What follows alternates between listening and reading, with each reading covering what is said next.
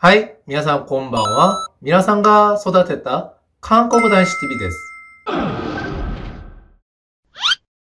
皆さん、気をつけてください。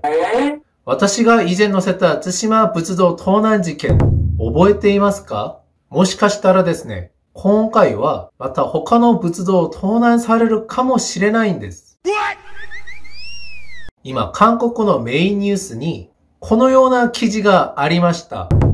7世紀頃、朝鮮半島にあった古代国家である百済が作った文化財が現在日本にあるということを把握した。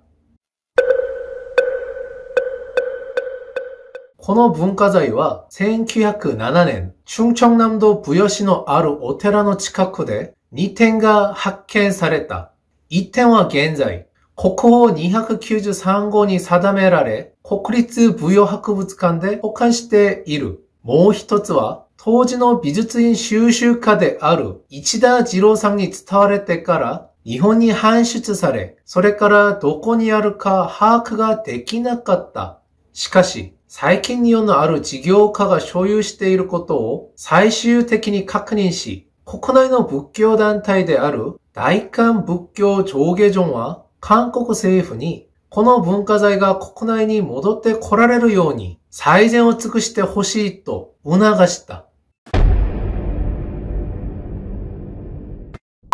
しかし、幸いなことは、今までは日本の事業家が要求した金額があまりにも高額で取り戻すことはほぼ不可能だったが、最近海外に搬出された文化財を取り戻す費用として100億ウォンが増額され、やっと解決できる希望が見えてきた。この仏像は、百済の三大の仏像の中で一つとして、とっても価値が高くて、必ず取り戻すべきだと、与党も野党もみんなが協力することを約束した。くだらのものか。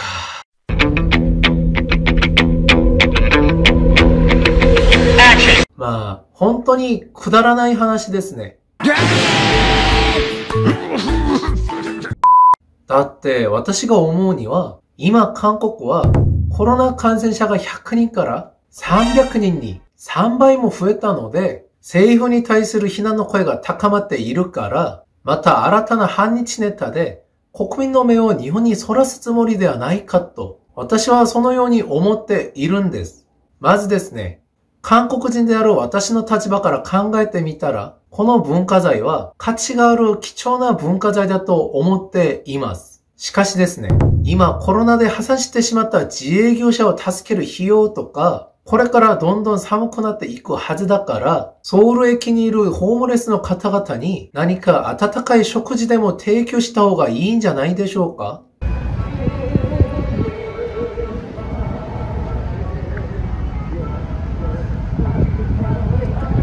そして何よりも過去に外国人に販売したものを果たして何百倍あるいは何千倍も高額を払ってでも韓国に連れてくる必要があるんでしょうか？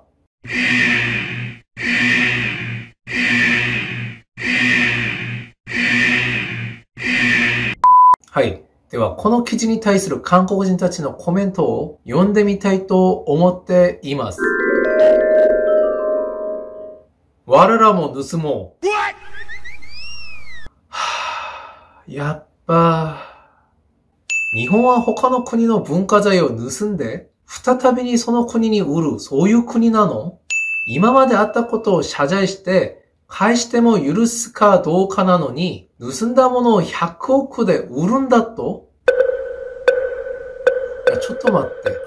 て。一応この韓国のニュースを見たら、海外に搬出された文化財を取り戻す費用で、韓国政府が100億ウォンを増額しただけだし、この仏像の金額が100億ウォンだとは言わなかったんです。ああ、この方まだハングルもマスターできなかったようですね。結局、売りならのものを日本からまたお金を払って買ってこなきゃいけないの？これは何？まるで人身売買犯と同じじゃん。対馬仏像窃盗団に連絡しろ。コロナだからどうせ仕事もないんだろう。おめえらにやることがあるんだよ。まあ、前回の津島仏像盗難事件も同じだし、なぜメイドインコリアが日本で発見されたら、それは日本が盗んだことになるの？いや、こうなったら、日本で韓国のものを輸入するの？これはですね、記事を書いたマスコミも悪いと思います。韓国の記事を見たら、仏像が搬出されたという曖昧な表現を使ったんですけれども、この搬出という言葉は、物を盗んだという意味もあるし、ただ元々の場所から他のところに運ぶという意味もあります。私が思うには、最初この仏像を日本に持っていた市田次郎さんのことが美術院収集家だと紹介されていることで考えてみたら、彼が仏像を買って普通な手続きを行って日本に持っていたと思います。だって、市田二郎さんが盗んだという証拠がありますでしょうか？もしですね、すでに販売したものがまた欲しくなったら、現在の所有者と円満に交渉をして簡単に解決したらいいんじゃないでしょうか？ところで韓国がそんなに仏教のことを尊重してくれたのかな？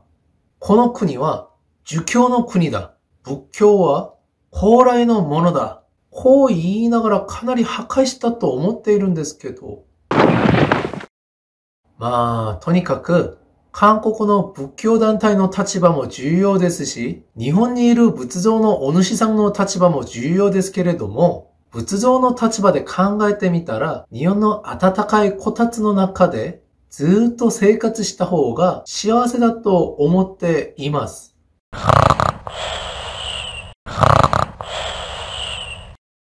はい。今日もご視聴本当にありがとうございました。今コロナで日本に行けない状況なので少し退屈を感じていたんですけれどもこのように日本の仏像を狙っている人たちがいると考えてみたらむしろ今のような状況がまあ仏像の立場から見たらちょっと安心かもしれないですね。まあ人間の立場から見たらもちろん早く解決した方がいいと思いますけど、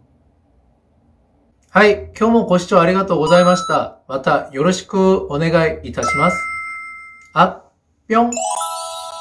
はい。動画を見てくださってありがとうございます。もし今日見た動画が良かったら概要欄にですね、Twitter、インスタ、Facebook いろいろやってます。共有もよろしくお願いいたします。あ、最後にですね、チャンネル登録もよろしくお願いいたします。では、あっぴょん